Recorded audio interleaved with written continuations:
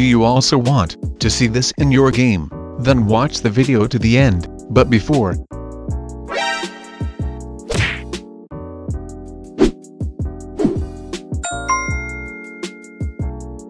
First you need to open Chrome, type here WinRAR download.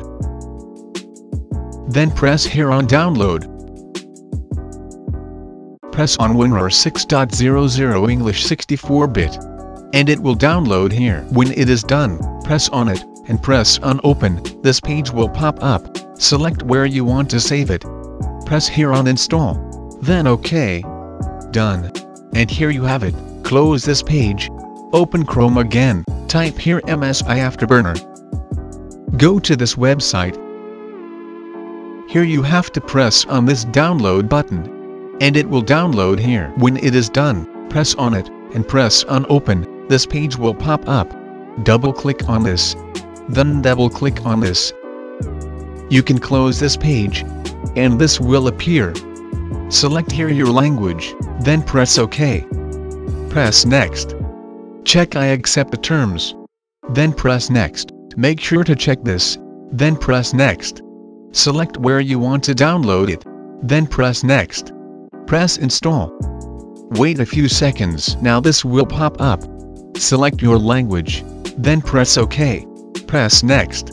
Check I accept the terms. Then press Next. Select where you want to download it. Then press Next. Install. Wait a few seconds, then press Unfinish.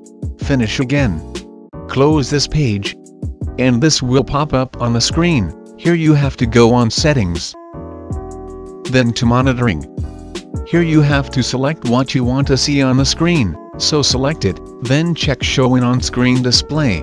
CPU usage, check it. Memory usage, check it.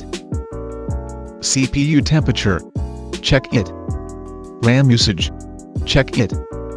And frame rate, this will show the FPS. Check it. Then press here on apply.